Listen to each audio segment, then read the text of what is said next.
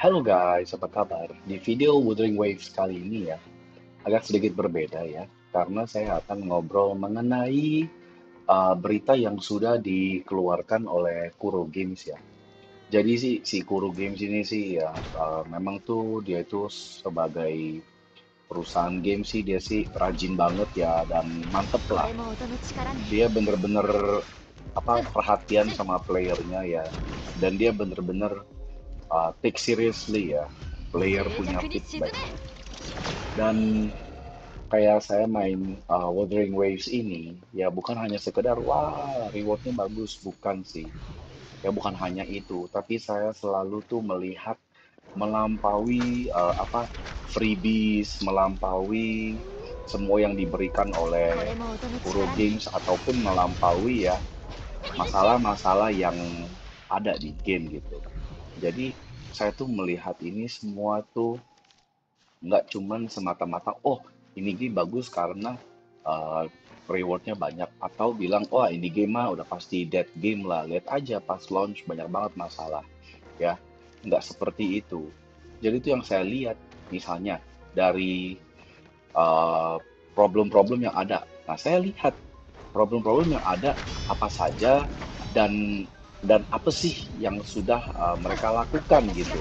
Apa sih yang sudah mereka lakukan ya sebagai developer untuk memperbaiki, game ini? Dan juga saya pengen lihat juga uh, seberapa cepat mereka melakukannya seperti itu ya.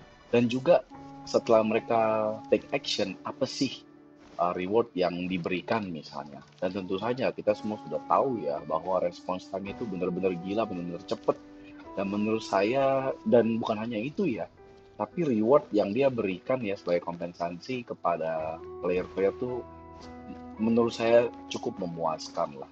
Jadi saya berharap ini bakal menjadi uh, standar di industri ini agar kami yang sebagai player-player tuh ya lebih lebih merasa terappreciate lah. Jadi kita juga lebih enjoy main game ini nggak hanya sekedar hype tapi juga memang ada uh, relationship antara player fanbase dan juga developer. News ini saya ambil dari uh, wutheringwaves.kurogames.com ya, berarti official. Oke, okay, dia rovers, bla bla bla bla bla bla bla bla bla. Nomor satu, eco development. Ada orang merasa eco development terlalu grindy dan nggak cukup energi material. Jadi dengan begini bakal ada uh, limited time eco event di mana uh, bisa memberikan double reward ya. Yang namanya heart cleansing ini mantep ya sangat ngebantu sih. Di versi 1.1 juga akan mengadjust progression system untuk mengurangi shell credit. Ya untuk me mengdevelop eco jadi uh, penggunaan shell credit juga dikurangin ya. Dan juga versi 1.1 akan remove reward cutscene of the Tasset Field. Betul. Tasset Field itu kalau sudah selesai itu ya pas sebelum kita collect tuh ada kayak cutscene. Itu itu ya uh, sangat annoying. Saya nggak suka itu. Jadi version 1.1 tuh bakal di remove itu mantep banget ya. Quality of life yang memang menurut banyak orang tuh insignificant tapi sangat menyebalkan itu. Dan untuk version 1.1 dan forward yield of echoes dan eco development material akan dinaikkan. Oke okay. Jadi untuk uh, Tarset Field ya berarti ya, jadi uh, reward dari Tarset Field Challenge mungkin ya akan dinaikin. Dan di upcoming update juga akan mengintroduce Wave Plate Storage System. Oke mantap ya. Jadi kita bisa uh, me me mengubah Wave Plate kita menjadi sebuah barang ya, di mana kita bisa gunakan lagi nantinya ya seharusnya ya. Kita lihat lah ya Oke, dua, regarding our handling of the reward system error when recycling develop echoes. Oke, ini ya, saya nggak tahu ya ada isu ini ya. Yang saya tahu dikasih kredit aja, kalau enam ratus ribu ya. Jadi ternyata tuh ada isu di mana eco recurring system itu memberikan shell credit kepada orang-orang ya uh, yang tidak benar gitu. Jadi mungkin kreditnya diberikan lebih banyak orang jadi bisa ngambil lebih banyak kredit mungkin or something like that. I don't know. Ya, jadi intinya dia minta maaf ada masalahnya dan udah di dan udah diselesaikan ya masalahnya. Dan karena caranya mereka merasa caranya salah, Jadi akan diberikan kompensasi lagi kepada seluruh player, share kreditnya satu juta ya. Wow, mantep banget ya. Dan distribution time-nya by 2359 Jun 10 UTC plus 8. Jadi berarti 2259 ya. Jadi kompensasi akan didistribusikan selambat-lambatnya sampai uh, 10 Juni ya. Uh, jam 10.59 malam. Ya 22.59 lah waktu Indonesia Barat. Oke mantep ya. Terus karena poor experience di ekosistem ini kami mengkompensasikan seluruh rover dengan 20 crystal solvent. Wah mantep banget ya. 20 crystal solvent. Dan crystal solvent satu crystal solvent tuh 60 wave plate. Mantep ya jadi ini tuh kita bisa pakai ini nanti ya untuk event yang double double eco reward itu ya. Oke mantep lah. Dan ini didistribusikan ya 3 Juni 2024 jam 9 pagi UTC plus 7 mantep banget Oke, okay, next. On the error in five star weapon description. Oke, okay, ini ya di Jepang ya ada masalah di weapon description ya, ada kesalahan ya di lokalisasinya. Tapi sekarang kayaknya udah selesai ya. Jadi mereka juga minta maaf dan memberikan additional compensation ya. Dan akan diberikan uh, 5 forging tide, berarti itu uh, 5 gacha material ya untuk weapon ya. Kepada seluruh rover untuk masalah ini ya. Jadi jadi kita diberikan amunisi ya untuk gacha. lima kali aja. Oke okay lah ya, mantap ya. Dan ini akan distribusi 3 Juni. Ya, jam 9 pagi waktu Indonesia Barat. Conversion event. Oke, okay, ada mereka akan mengintroduce new limited time special event, Wuthering Exploration, untuk memberikan reward baru dan juga untuk mengimprove gaming experience ya event rewards 800 astride. Ah more fable elite. Oke ini mantap ya. Ini ya kalau nggak salah tuh saya berharap ini selektor seperti yang event yang sekarang ya yang di dunia simulasi itu di mana kita bisa beli dua dua elite class eco dan itu kita bisa pilih. Itu selektor saya berharap juga selektor ya. Kayaknya sih selektor ya dari bacaannya. Jadi itu itu mantep banget bakal ngebantu new player banget. Terus juga ada premium tuner dan juga premium tube material untuk upgrade ego kita. Jadi ini mantep banget ya. Oke, mantep banget ini. Ini event mantep banget. Sangat ngebantu lah player.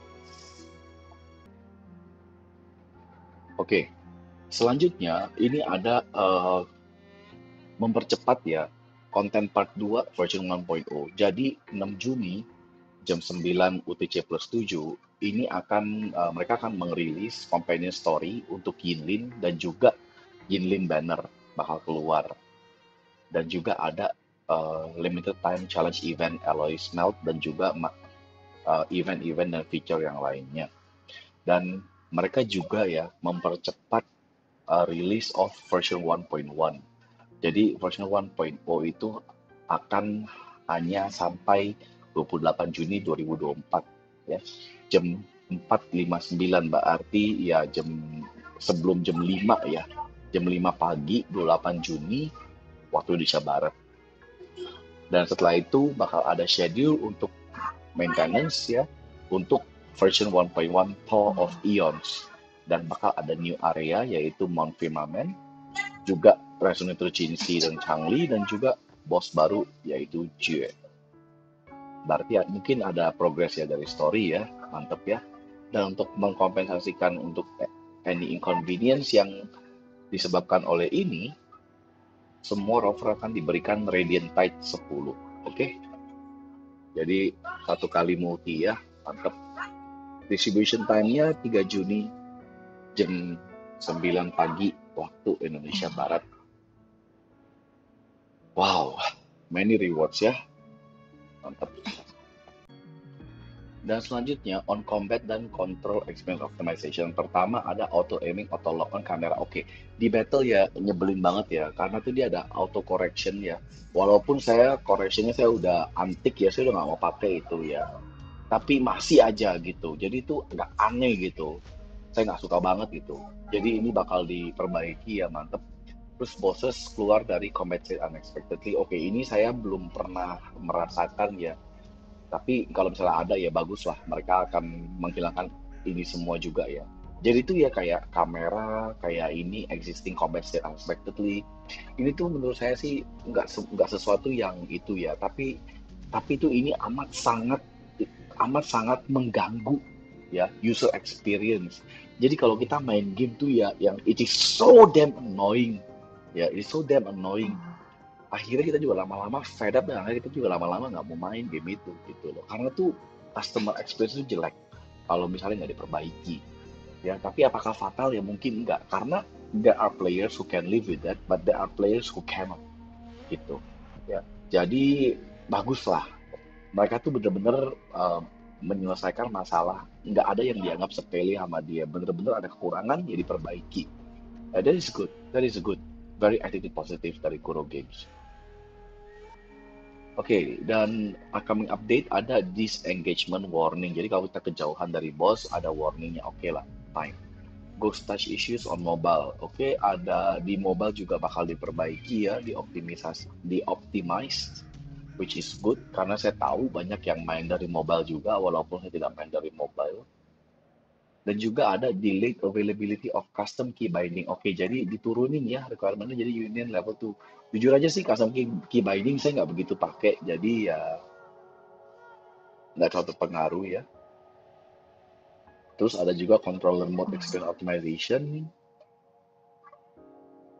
Controller on mobile device. Oke, okay, good poor game field design dan impact signification which one improve event signification and game field design for characters dan monster overall combine and positive feedback. Oh ya ya ya jadi kayak ada kekurangan-kekurangan jadi kayak kayak kekurangan-kekurangan ini tuh bikin ah kok kayaknya tuh gamenya kok budget banget gitu ya. Nggak kerasa kayak game bagus gitu. Oke okay lah bagus lah. Jadi tuh bener-bener tuh mereka tuh mau memperbaiki user experience ya di Wuthering Waves. Oke, okay, dan ada contents. Tidak ada purchase limit untuk flower.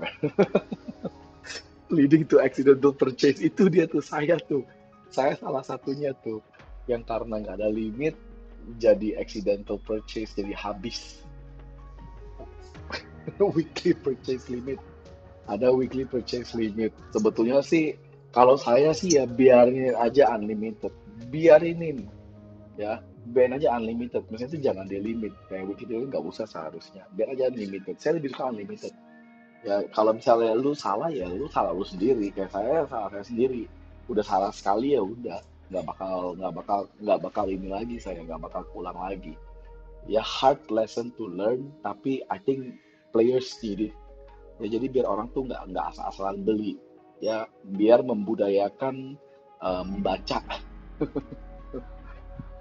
audio dan sound effect bug oke jadi ada missing sound effect. Ya saya juga kadang-kadang ada. Dan kalau kayak gini ya saya alternate effort dan relaunch aja sih. Nah crash ya instability. Oke okay, saya ada crash beberapa kali. Oke okay, depths of elusive realm event optimization. Depth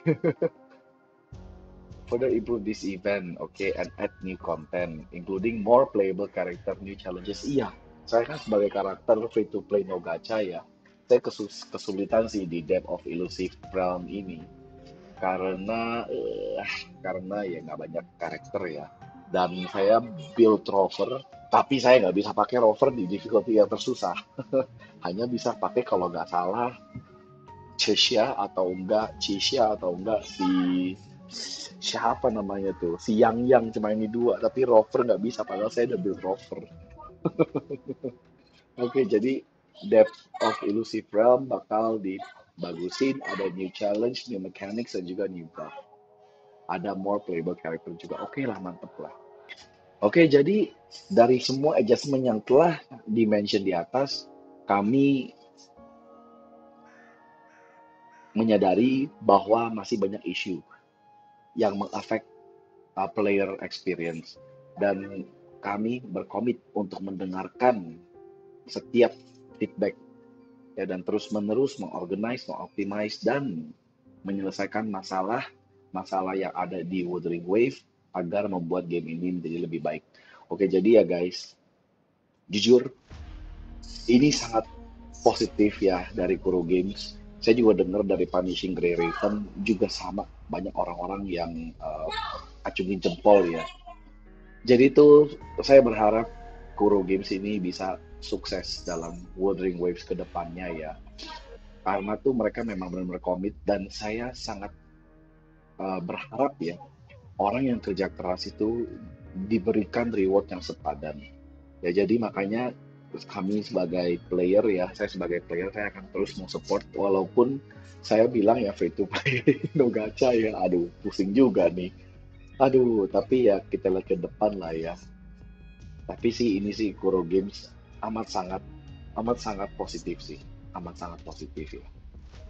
Jadi jadi tuh ini semua apa yang mereka lakukan ya dari ini tuh mereka tuh ini adalah respons untuk problem-problem yang ada dan ini tuh untuk menyenangkan hati player dan of course at the end of the day mereka mau game ini sukses agar mereka bisa dapat duit lebih banyak. Tapi at the same time mereka melakukan uh, cara yang benar ya. Dengan mengtackle isu ini uh, secara cepat dan juga memberikan reward yang bisa bikin player base-nya tuh puas gitu. Ya jujur aja sih untuk reward nggak ada yang sempurna sih.